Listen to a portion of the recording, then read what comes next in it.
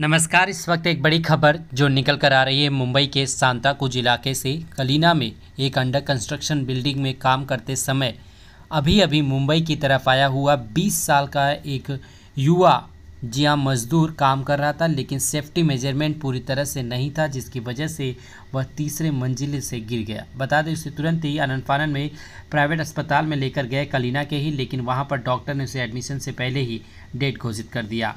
बता दें, इस मामले में जो कॉन्ट्रैक्टर है और कुछ लोगों के खिलाफ जो है मामला दर्ज कर लिया गया है, लेकिन अभी तक कोई गिरफ्तारी नहीं हुई है। बता दें, मजदूर अभी अभी नया काम पे लगा हुआ था, वेस्ट बंगाल का रहने वाला 20 साल का यह युवक जो है अपनी जान से हाथ धो बैठा, सिर्फ़ और सिर्फ़ इसलिए क्योंकि सेफ्टी मेजरमेंट्स को ध्यान में नहीं रखा गया। तो कहीं ना कहीं इस बार, एक बार फिर से लापरवाही का नतीजा देखने को मिला। अक्सर ऐसी घटनाएँ मुंबई और मुंबई के आसपास के इलाकों में देखने को मिल रही है। प्रशासन को सख्त नियम लागू करने होंगे ताकि सेफ्टी मेज़रमेंट को स्पेशल ध्यान दिया जाए। आज के लिए इतना ही। चैनल पर अगर आप नए हैं तो चैनल को सब्सक्राइब करके वीडियो को शेयर करना ना भूलें। जय हिंद दोस्तों, अपना ख्याल रखें।